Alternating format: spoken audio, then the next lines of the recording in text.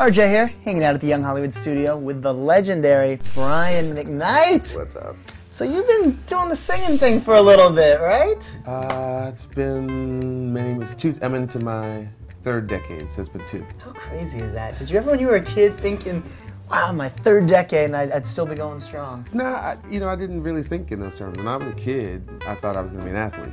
So, you know, my family all sings, so it wasn't something that it was like, ooh, if you're the one kid in the family that can sing, then they're like, ooh, you should do this, you should do that. They're like, no, go to church and sing, and then he'll figure out what you're going to do later on. And then, you know, I started writing songs when I was about 15 or 16. And when my brother and his group, they, I was watching them on the Grammys my soft, my freshman year of college. I was like, okay, this is probably possible since he, if he can do it, Right. I'm way better than him now playing. A little competition there. Blah going blah on blah in the blah blah. family, right? Not just a little bit, not really though. So we have some little McKnights that are that are having music careers going on They're here. they're not little anymore. Right. You know, 21 and 18 now, and uh, they are truly amazing. They both play, they both sing, they both produce, they both you know, they're they're my engineers when I'm when I'm recording.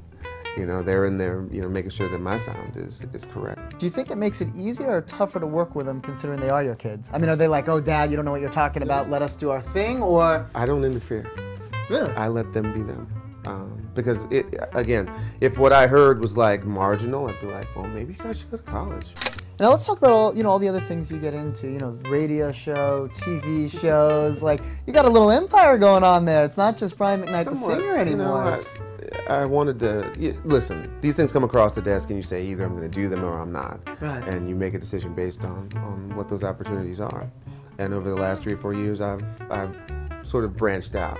I had two radio shows. And last year, I had two radio shows and a TV show, and was still doing concerts at the same time.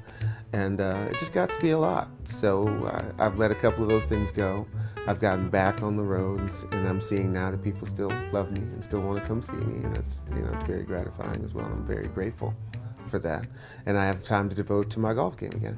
So That's a good thing, that's very important. That's the most important Listen, thing. it's- That's what it's all about. You do this you so you can play golf, right? All the people that work with me know, hey, look, he's going to have to have time for golf. And then the tour, you got a bunch of bunch of tour dates that are going to be coming up. I've, I've already sort of exhausted most of the U.S. cities this year, and then I go to Europe. So we're going to Norway, Belgium, uh, the U.K. Um, we're, we're going to Slovenia. Oh wow! So I don't, I don't know, man. What do you get in Slovenia? Who knows what to expect? I don't know. Hopefully something that can be cured. But the, but the, but the thing that's cool is that we're getting. you know, a ton of people out there trying to make it in the music industry. You know, they do the YouTube video and they do this. I'm sure people are always asking you for advice. How do you have a sustainable career that you can go in your third decade and people still want to talk to you and people still listen to your music and people still know you? You know what? You you have to decide what you want. You want to be famous? Anybody can be famous. If you want a career, you have to work. You have to work and get better every day, and figure out what's gonna gonna separate you from everyone else, so that people can focus on you. Um, they were always, ooh, who do you want to be like? You want to be the next Stevie Wonder? No, I want to be the first Brian McKnight. That's always been. That kind of sounds like Stevie. That kind of sounds like this guy. Kind of sounds like that. But ultimately, when you hear me sing, I think people know that's that's Brian McKnight.